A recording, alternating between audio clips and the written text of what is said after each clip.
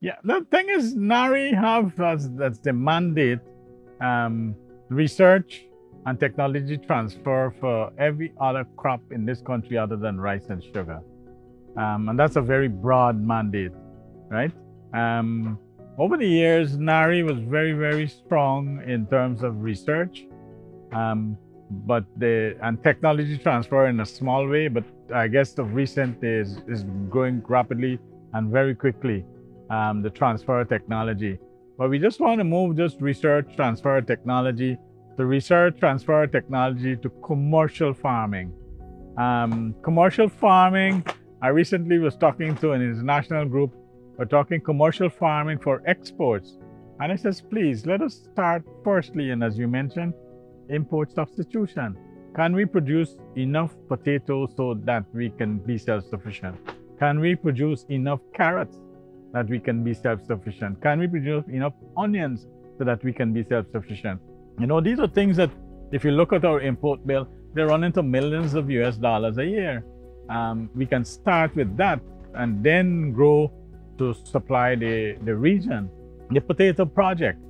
I'm on to uh, an international agency to look at how we can have some more tropical varieties.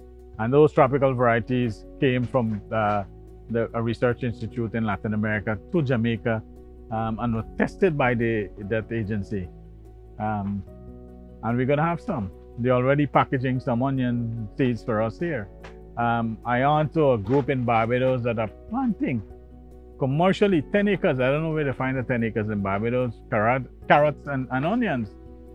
And they want to come to Guyana. I said, just send me a proposal of what you want and what you can do.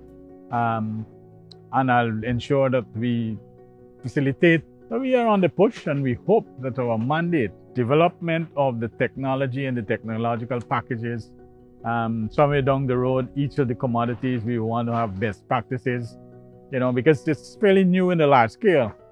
While we cannot invent the wheel and, and do a Google search and you can have some best practices, but in each country, the microclimate, the agro ecosystems and so on, the micro systems are not the same. So we have a little bit of tweaking to do with some of those. We will want to do that, get some best practices. And this year being the International Year of Fruits and Vegetables, I hope um, so we hope to launch it very soon, uh, where we would uh, try to propagate, to push, to advance the cause of our fruits and vegetables, and showing you that eating healthy um, is the way to go, and eating wholesome, fresh fruits and vegetables. Um, one of the things I keep going around and telling people is that let food be your medicine, and not medicine be your food, right? So that's that's my slogan. That's not the slogan of the International Year for Fruits and Vegetables. But that's where we want to go, you know, to ensure that all of us have on the table. And I remember some of my friends that says a meal without meat is no meal. Uh, I can tell you a meal, just wholesome fresh fruits and vegetables is good enough, you know. Um, and that's the way we should go. Guyana was always known as the breadbasket of the Caribbean. In my time at the rice board, I was talking Guyana is the rice bowl of the Caribbean.